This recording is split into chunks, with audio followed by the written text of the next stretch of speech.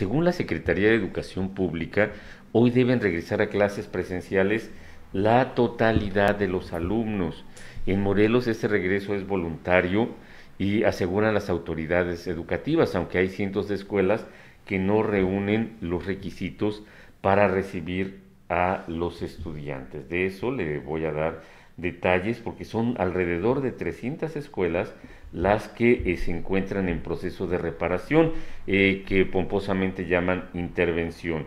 Eh, esta información la tomo del periódico La Unión de Morelos, de mi colega Tlaoli Preciado, y dice que de acuerdo con la instrucción de la SEP, hoy deberían regresar a clases presenciales el 100% de las escuelas, pero en Morelos el retorno será voluntario porque siguen aparte las obras de mantenimiento. Eliasín Salgado de La Paz, director del Instituto de la Educación Básica del Estado de Morelos, dijo que se ha trabajado fuertemente para que en la entidad se cumpla con el anuncio de la federación y la orden del gobernador fue intensificar todos los esfuerzos para garantizar las condiciones adecuadas en los centros escolares.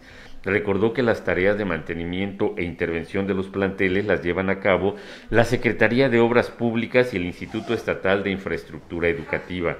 Al inicio del ciclo escolar estaban en el catálogo de escuelas que necesitaban alguna acción 650 planteles de acuerdo con el reporte más reciente, se lleva un avance de entre el 40 y el 50% y se sigue trabajando en las demás para que a la brevedad estén en condiciones de entregarlas al IEBEN para utilizarse de inmediato en cuanto estén totalmente listas.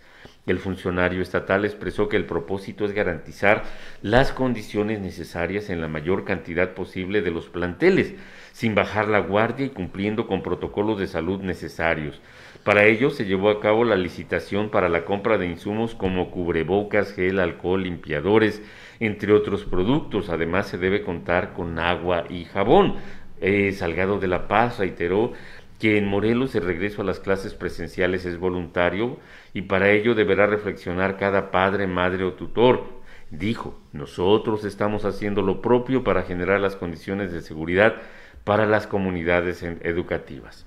El funcionario dejó en claro que no es obligatorio y en aquellos casos en los que las instalaciones no estén listas no se reabrirán los salones y seguirán con el modelo de atención que tienen, se ajustarán a la situación que guarda cada escuela. Podrían regresar algunos, otros seguir a distancia o hacerlo de forma híbrida.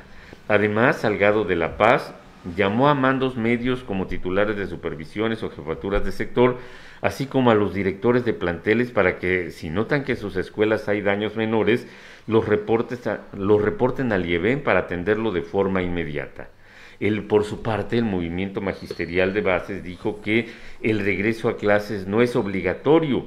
Alejandro Trujillo González, un profesor jubilado que es el vocero de esta organización intrasindical, el Movimiento Magisterial de Bases, insistió en que no se puede dar una orden de reanudación de clases presenciales independientemente del semáforo de riesgo en verde, porque la decisión depende de varios factores, entre ellos las condiciones físicas de los centros educativos.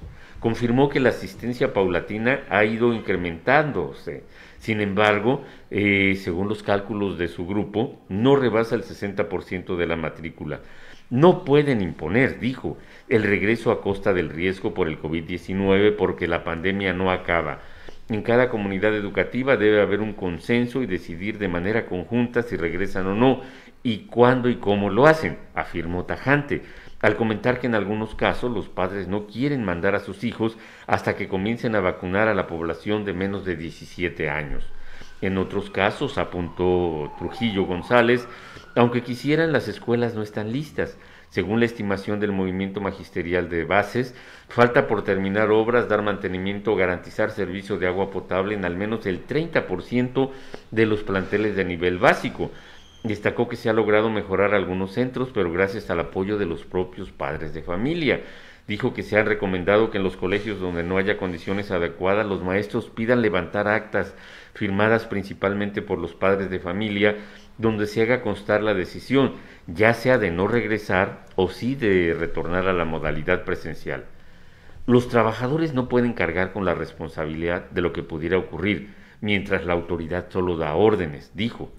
Cabe recordar que en su último informe la SEP sostuvo que en todo el país 18.290.948 alumnos y alumnas del sistema educativo público, así como 1.508.224 trabajadores de la educación mantienen las actividades presenciales. Según el gobierno federal, eh, a través de la Secretaría de Salud, únicamente el 0.15% de las escuelas con actividades presenciales ha reportado algún caso de contagio de coronavirus. A decir de la secretaria de Educación Delfina Gómez, están abiertas 169.864 escuelas con el apoyo de 1.508.224 trabajadores de la educación y cada semana se registra un aumento progresivo en la participación de las comunidades escolares, gracias a los maestros y maestras, a los madres y padres de familia y especialmente al personal médico que enfrenta la pandemia.